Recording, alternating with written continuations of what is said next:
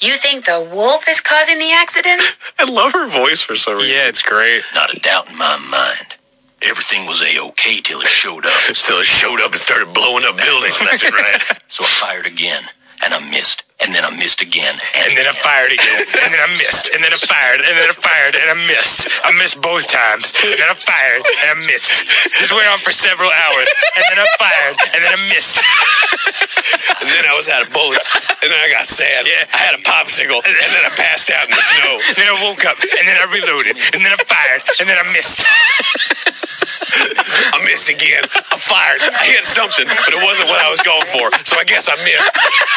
I passed out again. And another popsicle. I had a dream that I was firing at something. I missed. I reached in the fridge for another popsicle. I missed. I got the cabbage. I put it back. But I missed. I dropped it on the floor. Guest lodge business. Oh, man. I tried Long story short, missed.